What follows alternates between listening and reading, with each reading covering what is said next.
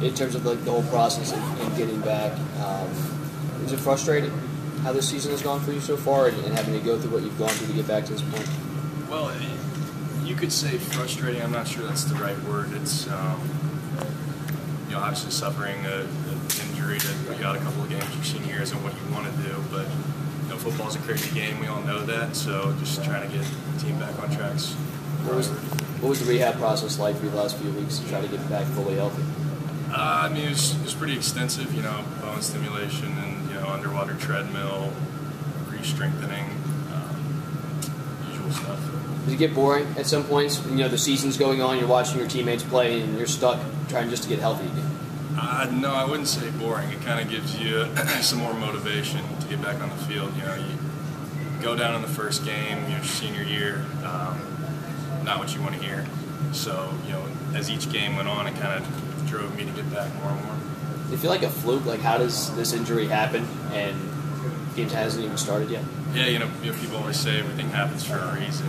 Um, and, it, you know, obviously getting that x-ray result you know, is a tough picture to look at. But um, like I said, you know, football's a crazy game. You know, you, know, you experience these crazy highs, and you know, to enjoy that, you gotta have the lows, I guess. So it's kind of what I'm looking at. Are you excited to get on the field with Deshaun, knowing what he's done the past few weeks? Now this offense has pretty much taken off since he started. Are you excited to get on the field with him? No see- doubt. I mean, to be a part of one, I mean, this program, and it's it's great, and a kid that, that that's that special um, is, is is awesome. You know, I was I was in on the play uh, down in the west end zone over here. Uh, kind of jumped over a guy. You know, that's that's pretty special. Not too many people. You, know, you won't see that too many times. So.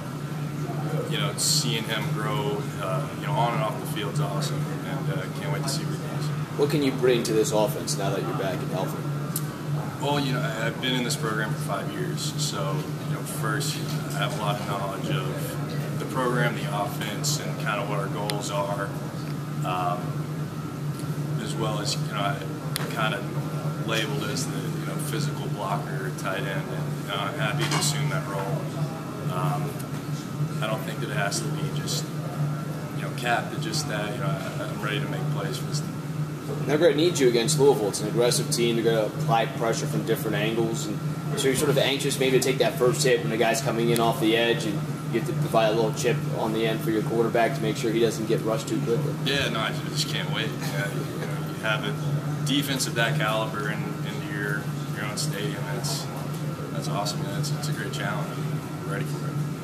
What was it like uh, to return from injury and be named the captain for the NC State game this week? It was pretty emotional. You know, I, I, I really appreciated you know, Coach Swinney acknowledging you know the work that I put in. So, in order to lead the team like that, meant a lot to me. And What was the rehab from a physical mental standpoint, just coming back from week one to? Well, it's it's pretty much you know the standard you know re-strengthening and you know I guess you know with fractures you just gotta let them heal. Um, but mentally, you know, watching each game go as the season goes along, you know, it gives you more motivation to get back on the field. Have you been told to take it easy in warm-ups? Yeah, yeah, I gotta gotta be careful in warm-ups now. Knowing there's so many guys there that can sort of pick up the slack, does it make it a little easier to watch on the side, or does it make it more difficult knowing that you want to be out there to lead? No guys? doubt. I mean, and you know, right after warm-ups in Georgia, you know, I kind of went to my guys and looked and said, you know, look, we, we all have to step up here.